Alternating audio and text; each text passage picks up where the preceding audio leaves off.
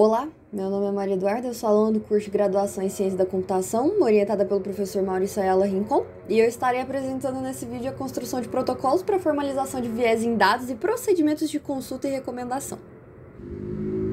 Em dezembro de 2021, o Ministério da Saúde elaborou uma pesquisa pública no website do governo federal solicitando a opinião da população sobre a vacinação de crianças de 5 a 11 anos contra a Covid-19. Este órgão forneceu um documento com dados dos países que começaram a imunização nessa faixa etária para então realizar uma consulta que solicitava a seleção de respostas de concordo ou discordo em relação à liberação da imunização do público infantil. O objetivo geral deste trabalho é estudar os possíveis problemas de enviesamento em dados e algoritmo, e para isso utilizou-se essa consulta pública como caso de estudo. A classificação de viés em data e algoritmos usa a hierarquia apresentada por Baeza Yates no artigo publicado em 2018, Bias on the Web, que estabelece o ciclo de vida de dados e viés na web. Para a análise, consideram-se quatro etapas. O viés de dados, em que as informações coletadas não necessariamente espelham a realidade do contexto analisado, uma vez que foram extraídos de fontes não confiáveis. O viés de atividade, em que as crenças de uma pequena parcela de indivíduos influenciam uma gama maior de pessoas que apenas consomem informação na web. O viés de algoritmos, em que o programador introduz seu próprio viés na construção de sistemas computacionais. E o viés da interação com o usuário, que se caracteriza pela indução do usuário a priorizar acesso ao conteúdo previamente selecionado por outros e possivelmente tendencioso. A fim de modelar o possível viés na consulta pública, foi utilizado o assistente de demonstração PVS e neste foi especificado um protocolo proposicional que caracteriza nossa visão de viés no contexto da hierarquia de Baeza-Yates. Considerando o modelo especificado em PVS, conclui que a consulta pública pode propagar o viés de dados produzindo viés de algoritmo e de usuário.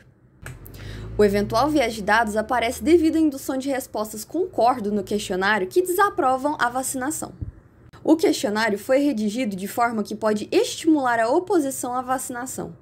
A disponibilização do questionário na web não constitui uma enquete pública, sempre que apenas usuários com acesso a sistemas digitais poderiam responder. Por outro lado, é questionado se tal consulta aberta ao público digital não especializado sobre um assunto vital de saúde pública seria pertinente. Com efeito, a Anvisa publicamente repudiou a consulta e não participou de discussão subsequente sobre os resultados do levantamento.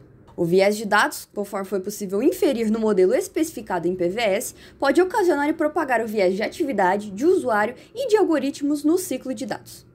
O trabalho permitiu aplicar conhecimentos acerca de lógica de dedução proposicional, além de estimular a busca e o aprendizado acerca de viés em dados, tema recorrente nos dias atuais. O assunto não só promoveu rodas de conversa, como também a reflexão no meio computacional acerca do que é inteligência e de como a premissa da inteligência artificial se afasta da sabedoria humana. Para tanto, a formalização dos protocolos criados para a prova do viés na consulta torna-se um plano de trabalho futuro, dado que ferramentas mais complexas da lógica computacional são necessárias para efetivamente demonstrar que as proposições feitas são universais.